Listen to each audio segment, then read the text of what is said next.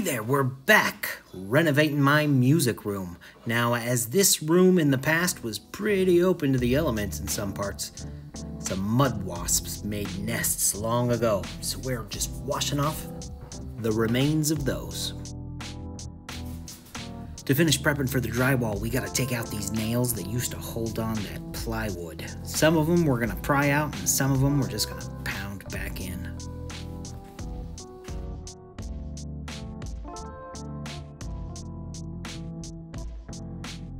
Gonna give it one last cleaning, a little vacuum of all the crevices we can find. Now it's time to measure out those boards. Don't forget, measure a bunch, cut once. All you gotta do to cut a nice straight line in your drywall is score it with a sharp knife and then just break it off.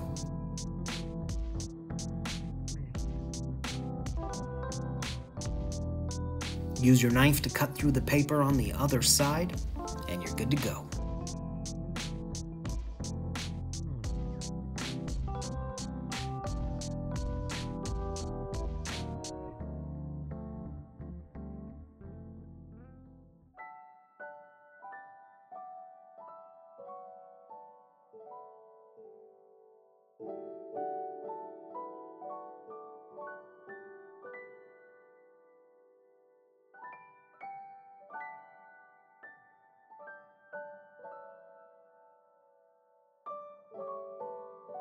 And in she goes.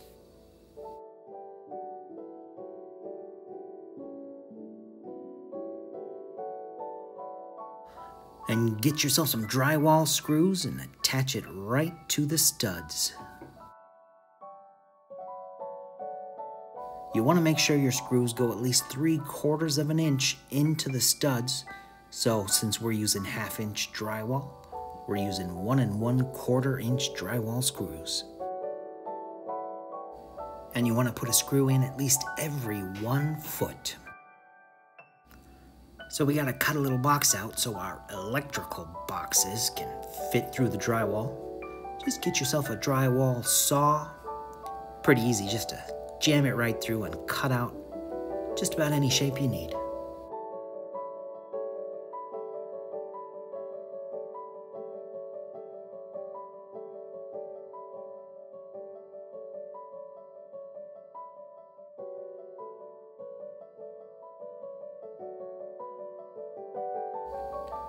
And there we go.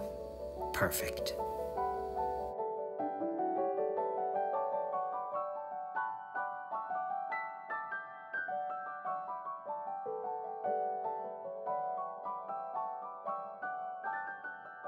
One of the good things about drywall is it's pretty forgiving of dings, even a little breakage or cracking. Because once you get it all up, there's going to be a lot of spackling to cover all the gaps and the screws. Remember, drive your screws a little past flush. Better too far in than too far out.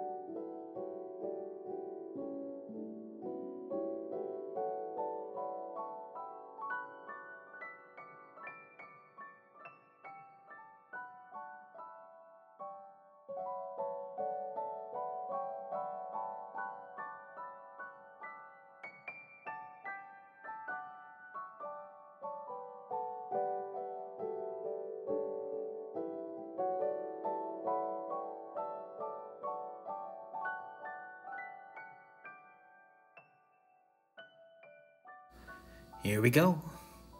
One wall down, two to go. We'll be finishing those ones up soon.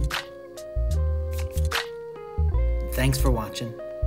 We'll see you next time.